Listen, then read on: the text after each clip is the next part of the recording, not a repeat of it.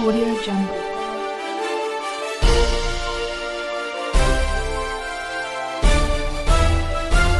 Audio Jungle.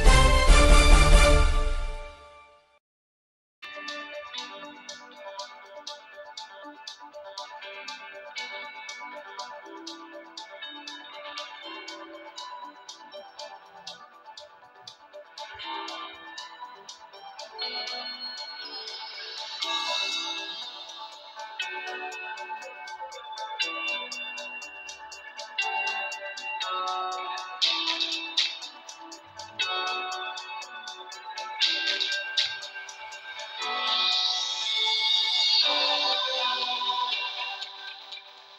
Pagi hari ini saya bersama dengan Yang Mulia Duta Besar Jepang untuk Indonesia dan juga Pak Menteri Perhubungan, Pak Menteri Sekretaris Kabinet meninjau Pelabuhan Pantimban yang sudah sejak Desember yang lalu, tiga bulan yang lalu beroperasi.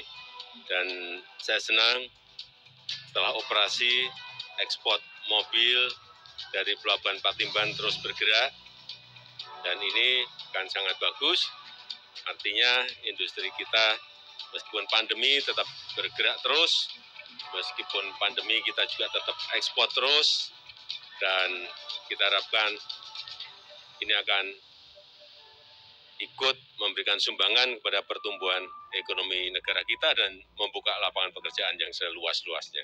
Jadi ini merupakan suatu hub besar kolaborasi antara Priok dengan Bantiman. Priok memang tidak bisa dimaksimalkan lagi karena kemacetan yang ada di Jakarta dan Bekasi ya. Oleh karenanya sebagian kita pindahkan ke sini.